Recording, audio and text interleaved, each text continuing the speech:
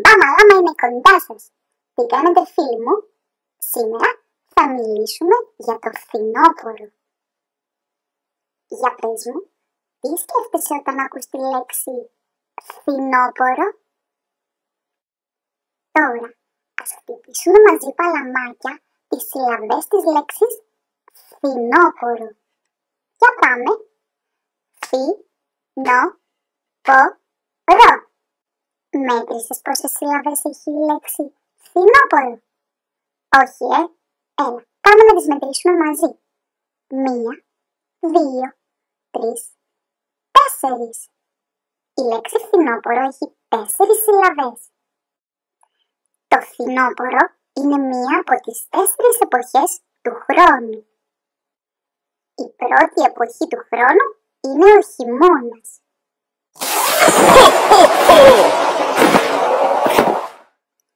Ακολουθεί η άνοιξη.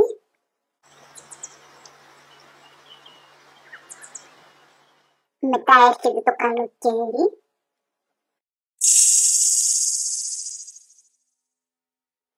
Και για το τέλος έχουμε το φθινόπωρο.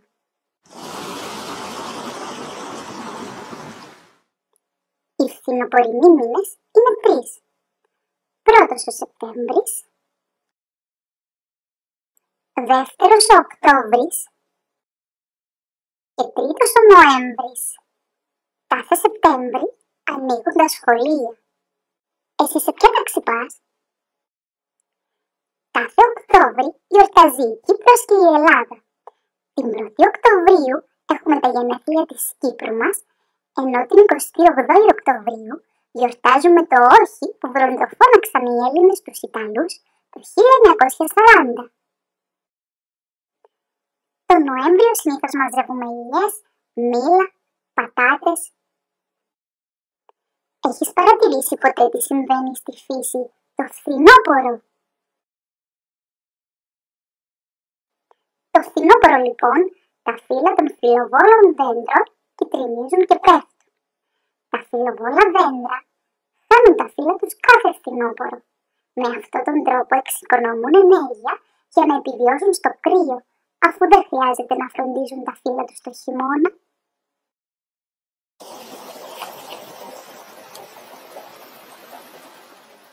Αν παρατηρήσεις προσεκτικά την εικόνα, θα βρεις ακόμα κάτι που συμβαίνει στη φύση το φθινόπωρο. Σωστά, πέφτουν οι πρώτες βροχούλες ή αλλιώς τα πρωτοβρόχια.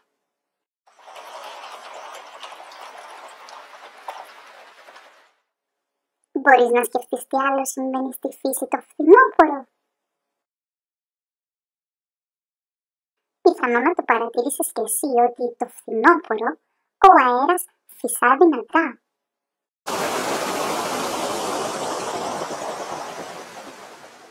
Μπορείς να μαντέψεις τι συμβαίνει στη θερμοκρασία το φθινόπωρο. Το καλοκαίρι λοιπόν, που είναι πριν από το φθινόπωρο, η θερμοκρασία είναι ιδιαίτερα ψηλή. Όταν όμως έρχεται το φθινόπωρο, η θερμοκρασία αρχίζει να πέφτει. Είναι δηλαδή πιο χαμηλή.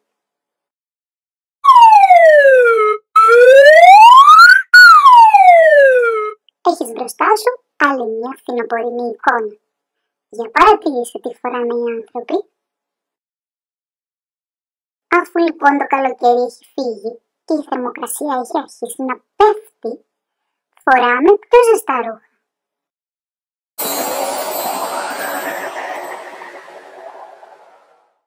Ξέρεις τι συμβαίνει με ορισμένα ζωάκια το χειμώνα; Κάποια ζώα λοιπόν το χειμώνα, όπως είναι οι αρκούδες, οι σκαντζόχυροι, οι σκύβουροι και άλλα, πέφτουν σε χειμέρια ανάρκη, δηλαδή κοιμούνται. Έτσι προστατεύονται από το κρύο. Δεν ξοδεύουν ενέργεια και φυσικά δεν χρειάζεται να ψάξουν για τροφή.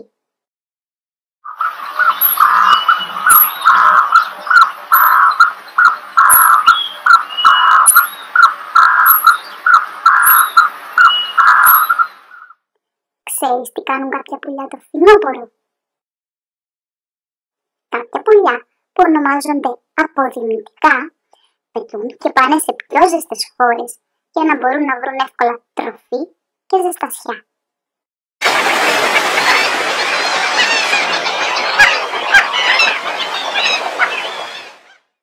Μπορείς να βρεις κάτι που συνηθίζουμε να τρώμε το φθινόπωρο. Το φθινόπωρο λοιπόν τρώμε φθινοπορεινά φρούτα και λαχανικά. Αλήθεια, ξέρεις να μου πεις μερικά; Αν δεν ξέρεις, θα σε βοηθήσω εγώ. Μερικά φρούτα του φθινοπόρου είναι το μήλο, το σταφύλι, το αχλάδι, το ρόδι και άλλα. Μερικά από τα λαχανικά του φθινοπόρου είναι η κολοκύθα, τα καρότα, το μαρούλι, το σπανάκι, τα κρεμμύδια, τα σκόρδα και άλλα.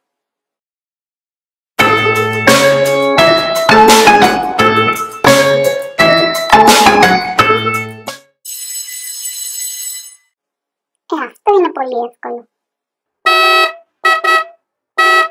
Το φθινόπωρο λοιπόν και συγκεκριμένα το Σεπτέμβρη, τον πρώτο μήνα του φθινοπόρου, ανοίγουν τα σχολεία.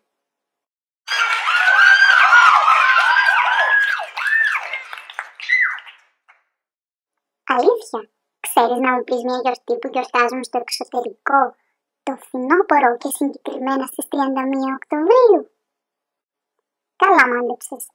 Στις 31 Οκτωβρίου στο εξωτερικό γιορτάζουν το Halloween.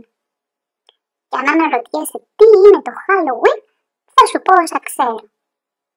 Το Halloween λοιπόν είναι μια διασκεδαστική γιορτή για μεγάλους και παιδιά. Αν θα γιορτάσεις και εσύ φέτος το Halloween, μπορείς να διακοσμήσεις κολοκύθες, μπορείς να φτιάξεις κάποιο γλυκό, όπως για παράδειγμα μπισκοτάκια σε σχήμα νυχτερίδας, κολοκύθας, γάτας, αράχνης. Και φυσικά μπορείς να ντυθείς κάποιος ήρωας. Και αν θα σου πρότεινα να γνωρίσεις έναν ζωγράφο το φθινόπωρο, είναι αυτός. Τον ξέρεις; Για σένα λοιπόν που δεν το γνωρίζεις, να σου πω ότι λέγεται Vincent Van Gogh. Ο Van Gogh ήταν από την Ολλανδία. Ζωγράφησε πολλούς πίνακες που απεικονίζουν το φθινόπωρο. Ο πίνακας που έχεις μπροστά σου λέγεται Sunflowers, που στα ελληνικά σημαίνει ηλιοτρόπια. Ο διάσημος επίσης πίνακας του Van Gogh είναι αυτός, το Starry Night, που στα ελληνικά σημαίνει ένας ουρανός. Αυτά για σήμερα. Γεια σας!